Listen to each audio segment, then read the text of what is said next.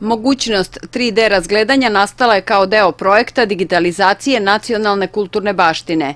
Projekat je prošle godine realizovalo Ministarstvo za evropske integracije. Aplikacija daje mogućnost posetiocima da se pre obilaska tvrđave upoznaju sa istorijom, istraživanjima i restauracijom, ali i zanimljivostima koje se odnose na ovo utvrđenje.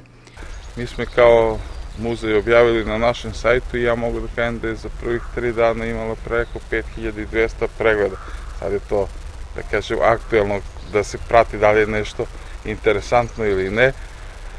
E, ta aplikacija na sajtu ima i grada, arhiva, mislim da i turističke, tako da i oni komentari koji se nalaze, ono što sam bar ja vidio su svi pozitivni i evo, trudimo se, odnosno i ministarstvo, da budemo u skladu sa tim novim tehnologijama, da onima koji trenutno nisu u mogućnosti predstaviti se šta ima u našoj tvrđavi i da to bude e, eventualno poziv svima iz, ne samo iz Srbije nego iz celog sveta ako ih put nanese e, prema Pirotu da svrate i vide našu tvrđavu.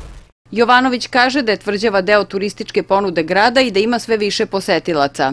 Nemamo tačnu evidenciju broja posetilaca, ali ono što se evidentira preko nedelje slabije i tu ide od nekoliko desetina posetilaca, a što se tiče vikenda je i do hiljadu posetilaca poseti tvrđavu, naročito subota i nedelja. Većina tih posetilaca za vreme vikenda su ljudi sa strane pre svega iz Bugarske, tako da za mene lično, a i za one ljudi sa kojima sam razgovarao, iznenađujući dobra poseta.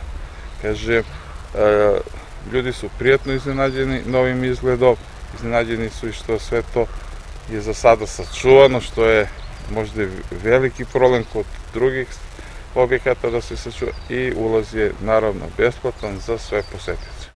Rekonstruisana tvrđava Kale počela je sa radom krajem novembra prošle godine. Radovi su bili deo projekta IPA programa preko granične saradnje sa opštinom Montana iz Bugarske.